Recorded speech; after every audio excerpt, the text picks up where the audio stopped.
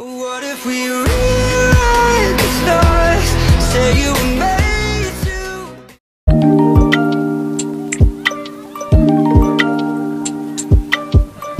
to.